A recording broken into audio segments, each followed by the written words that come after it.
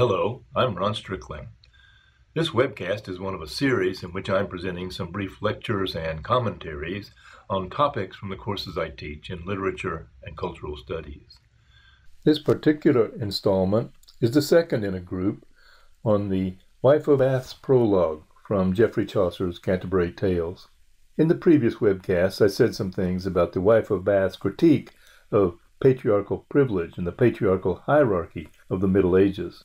We pick up the thread at a point where the wife of Bath is arguing against those who say that a widow should not remarry after her husband has died. However, she comically confuses remarrying after one's partner has died with bigamy, the condition of a man being married to two women at the same time. So she cites various examples of Old Testament patriarchs who had multiple wives in defense of her decision to remarry after each of her husbands has died. I know well Abraham was a holy man, and many another holy man also, and each of them had wives, more than two wives. Where can you find, in any historical period, the high God forbade marriage by express word? I pray you, tell me. Or where commanded he virginity? He put it in our own judgment. For had God commanded maidenhood, then had he damned marriage along with the act of procreation. And certainly, if there were no seed sown, virginity, then whereof should it grow? Where are you going to get virgins if you can't have sex? I know well that the apostle was a virgin, but nonetheless, though he wrote and said he would that every person were such as he, all is nothing but advice to adopt virginity by calling the apostle a maid, she's suggesting that he's a virgin. Even more than that, I think she is rhetorically emasculating St. Paul, questioning his manhood. This is the sum of it all. He held virginity more perfect than wedding in weakness. Weakness, I call it, unless he and she would lead all their life in chastity. I grant it well, I have no envy though maidenhood may have precedence over a second marriage, it pleases them to be clean in body and spirit.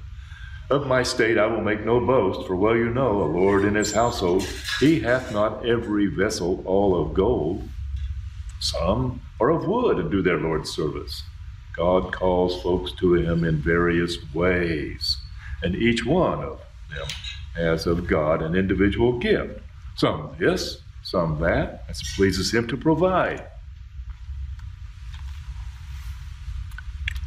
Virginity is great perfection and continence also with devotion. But Christ, who is the source of perfection, bade not that every person should go sell all that he had and give it to the poor, and in such wise follow him in his footsteps. He spoke to those who would live perfectly. And gentlemen, by your leave, I am not that. I am not someone who wants to pretend to be perfect.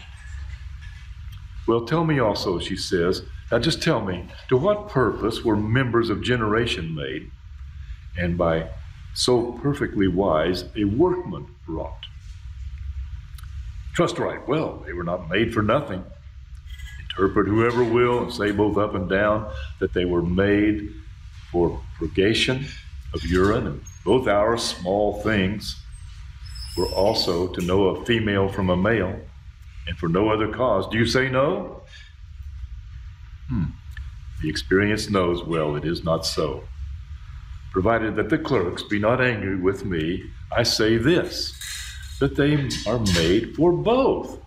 That is to say, for urination and for ease, or office and for ease. For ease of procreation, in which we do not displease God. Why else should men set in their books that man shall pay to wife her debt? Now, with what should he make his payment if he did not use his blessed instrument?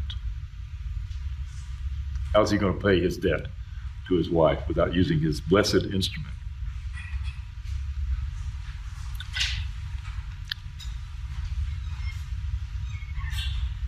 you have to use your imaginations.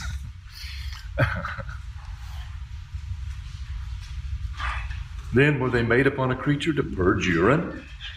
Small things are made for men and women. Also, okay, so you can go to the bathroom with these things, but also for procreation. Okay?